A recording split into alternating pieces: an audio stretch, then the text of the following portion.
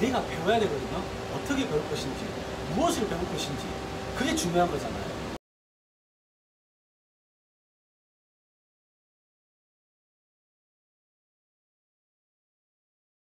그 코드를 구성을 하고 쪼를 세팅한다거나 공구를 세팅하는 거 이런 부분들은 눈으로 봐도 금방 알 수가 있어요. 뭐 어떻게 내 욕심만 좀 있으면 사수분들께서 세팅할 때또 관심 있게 보면 그건 가능하거든요. 오퍼레이터에서 엔지니어로 거듭나는 부분이 어떤 부분이냐면 어, 조건값이에요. 조건값. 이걸 배우면서 뭔가를 하겠다고 취직을 하고 입사를 했는데 가르쳐 주는 사람이 없어요. 근데 당연한 거예요, 그거. 만약에 가르쳐 주는 사람이 있어가지고 내가 배우려고 마음먹었으면 회사 생활 하면 안 돼요. 회사는 여러분들 개인 개인을 채용을 해가지고 여러분들로 하여금 이익을 창출시키는 집단이거든요.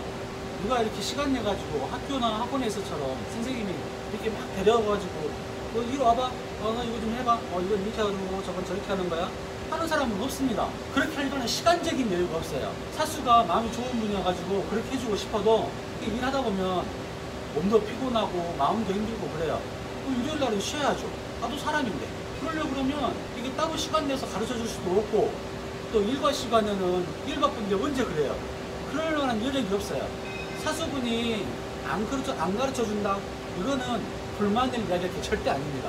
모 업체 이렇게 가는데 이제 가끔씩 가서 그때 직원들 이야기 들어보면 그런 말을 많이 하더라고요. 어, 도대체 이 회사에서는 배울 게 없다고. 근데 정말 과연 그럴까요? 배울 게 없는 걸까요? 아니면 내가 안 배우는 걸까요? 가르치는 사람은 절대 없습니다. 근데 여러분처럼 배우는 사람만 있어요. 배운다는 거는 따로 다른 거 없어요. 학교에서처럼 가르쳐 주고 학교, 학교에서처럼 내가 배우려고 그러면 안 돼요. 그건 절대 그렇게 생각해서 안 돼요. 그러면 불만만 쌓여가요. 그러려고 그러면 뭐냐면 내가 배워야 되거든요. 어떻게 배울 것인지, 무엇을 배울 것인지. 그게 중요한 거잖아요. 지금부터 그 얘기를 하려고 그래요. 배우는 방법. 그 자기주도 학습이라는 게 있어요. 요즘 그 학생들한테 굉장히 중요시 되고 있는 학습 방법인데 내가 스스로 내가 공부할 걸 찾아가지고 내가 스스로 공부하는 거 내가 주도적으로 내 공부를 찾아서 내가 하는 거 이거거든요. 자기주도 학습. 이거예요. 내가 배울 수 있는 방법. 그러면 이제 중요한 거 내가 무엇을 배워야 될 것인지 어떻게 배워야 될 것인지 그걸 말씀을 드릴게요.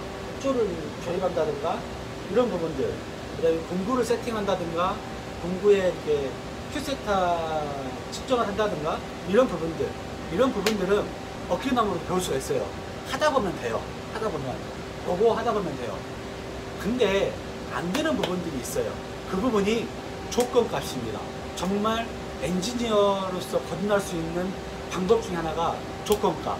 예를 들어서 이 제품 어, 이 제품 깎았는데 이 제품은 재질이 S45C 재질입니다 사이즈는 약 한 158 정도 돼요. 그 다음에 깎아내는 두께는 4.35mm를 깎아내요. 자, 그러면 이거를 얼만큼의 양을 얼마씩 깎아낼 것인지, 공구가 절삭 속도는 얼마로 갈 것인지, 회전은 얼마로 줄 것인지, 이게 중요한 거예요. 이거를 여러분들이 배우셔야 돼요. 이거는 책에도 안 나와 있고요. 오롯이 타수분 머릿속에 들어있는 거예요. 물론 절삭 속도라든가 이런 부분들 공식에 대입해가지고 찾아내는 게 있어요. 이거는 기준만 잡아주는 거예요. 이게 정답이 아닙니다. 여러분들이 진짜 이 실 가공에 필요한 이런 조건 값들은 사수분의 머릿속에 있고 또 한 군데 더 있어요. 그게 어디냐면 이 프로그램 자체에 들어있어요. 그거를 여러분들이 캐치를 하셔야 되는 거예요. 막연하게 그냥 문 열고 제품을 넣고 녹색 버튼 누르고 이게 아니에요. 이거는 그냥 일상적인 생활입니다. 중요한 거는 이 제품을 깎을 때의 조건 값들. G00으로 가서 G01로 내려오고 막 깎고 어쩌고 G02로 돌리고 G03로 돌리고 이런 것들 물론 필요하죠. 물론 필요해요. 근데 이거보다 정말 여러분들이 꼭 반드시 필히 진짜 이 기계가 부서지더라도 세상이 무너져도 여러분들 위치에서 꼭 배워야 될 것들은 그런 것들이에요. 얼마의 속도로 돌리고 얼만큼씩 어느 정도의 이속 속도로 가면서 자를 것인지 깎아낼 것인지 이거예요. 이거는 소재 크기마다, 소재 재질마다 다 다르거든요.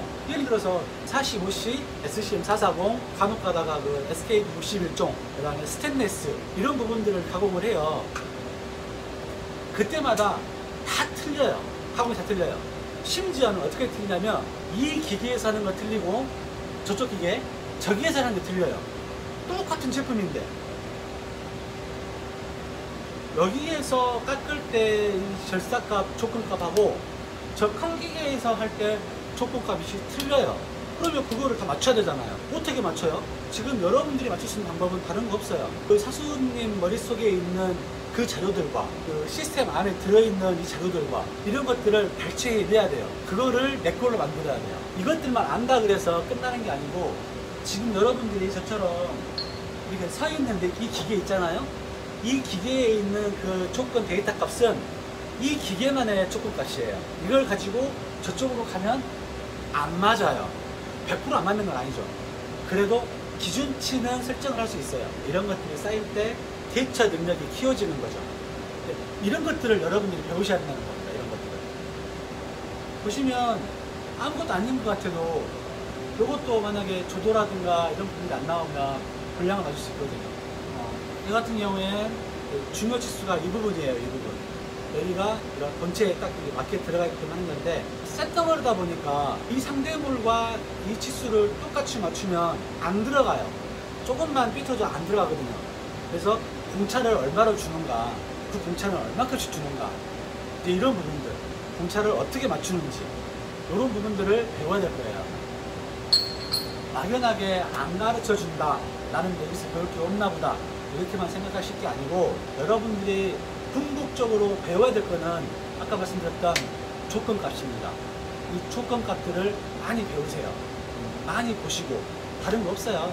이런 부분들을 유심 있게 보시고 관심 있게 필요하면 적어 놓으세요. 적어 놓고 내 걸로 만드시는 게 가장 좋은 공부 방법입니다. 여러분들도 빨리 그런 부분들을 습득하셔가지고 훌륭한 기술자가 되시길 바라겠습니다.